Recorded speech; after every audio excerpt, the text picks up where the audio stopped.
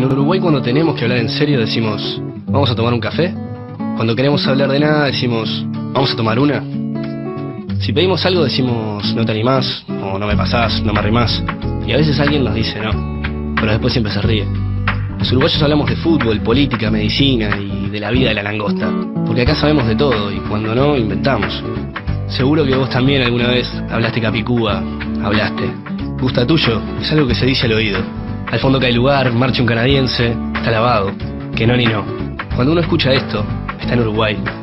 Si queremos que alguien de afuera no entienda, a Pamopos, Jeperipin, Goposopo. Acá siempre hay un amigo que dice, voy para ahí.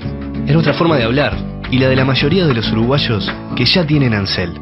Ansel, mueve tu mundo.